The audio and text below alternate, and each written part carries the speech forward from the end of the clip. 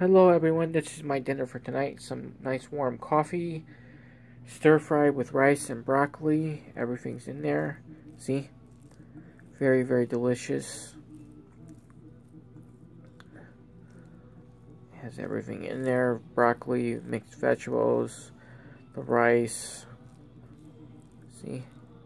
Has everything in there and my warm coffee. Yum, yum, yum. So that's my dinner for tonight. I hope everybody's doing well. Uh, have a beautiful Sunday. Enjoy your Sunday morning church, everyone. To lovely Emily Estrella, I hope you're doing well. Miss you very much. Have a good morning. How was your day off a few days ago? Hopefully you're okay. Do miss seeing you very much. Mom and Dad miss you too.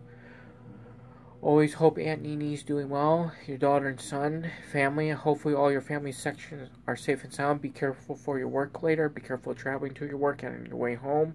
Mom and Dad say the same thing.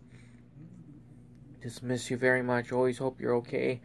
And to all my Philippine friends and family, have a beautiful Sunday morning. For some of you, have a good night. Uh, today was a nice day. It was a nice, beautiful day. Even with it being warm and humid, that's okay. Uh, we, I cleaned off the driveway, did some leaf blowing.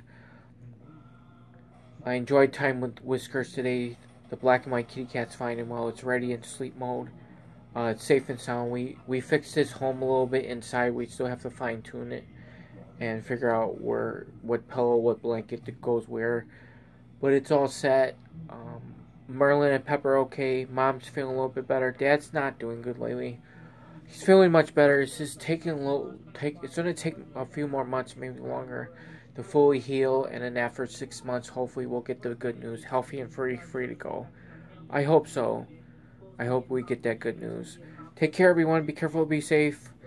Uh, to lovely Emie Estrella with a big heart. Be careful, everyone. And hopefully Alabama wins next uh, next Saturday.